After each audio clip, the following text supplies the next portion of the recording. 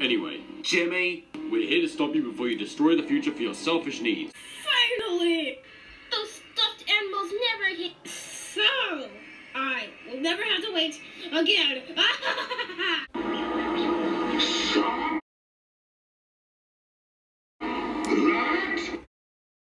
What?